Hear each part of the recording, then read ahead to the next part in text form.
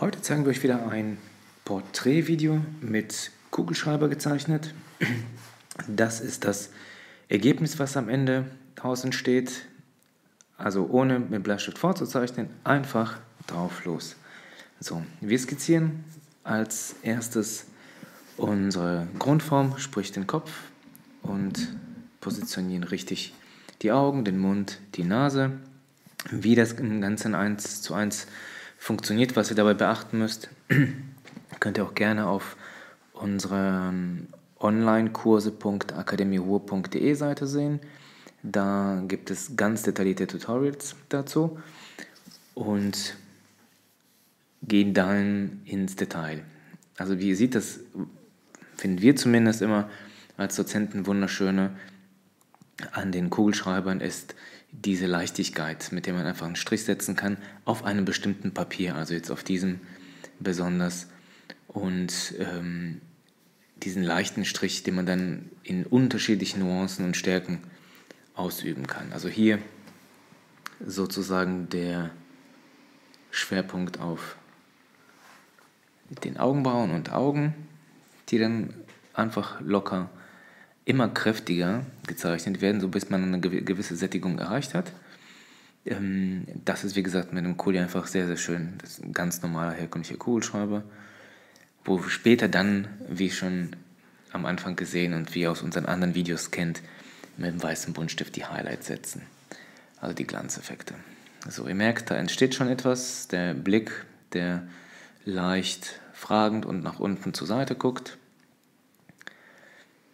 Da werden so ein bisschen die Augen nochmal ausgearbeitet. Die Nase, die können wir jetzt ein bisschen kräftiger skizzieren, da wir jetzt sozusagen die Position richtig dargestellt haben und dann nochmal die Hand, die sich am Gesicht oder am Kinn festhält. Was ist wichtig? Wichtig ist, wie immer, auch bei anderen Zeichnungen, die ihr von uns seht, immer die Grundform zu zeichnen, also die Hand auch wirklich nur als Kontur, als praktischen Dreieck zu skizzieren. Dafür haben wir auch ausreichend Videos, äh, kennt ihr wahrscheinlich schon auf YouTube. Und das Ganze dann Stück für Stück zu vertiefen. Ähm, so, jetzt wird die rechte Seite ein bisschen ähm, detailliert skizziert, schraffiert, die Lippen, der Mund, sodass der Schatten natürlich von uns aus gesehen auf der rechten Seite ist. So, man kann so richtig nicht in den Mund reinschauen, deshalb werden die Zähne nur so ein bisschen angedeutet. So, und jetzt, wo alle, alle Konturen, alles eigentlich relativ eindeutig zu sehen ist, können wir uns dann den einzelnen Details widmen. Die Ausarbeitung der Ohren noch einmal, vielleicht hier ein bisschen an den Augen vertiefen.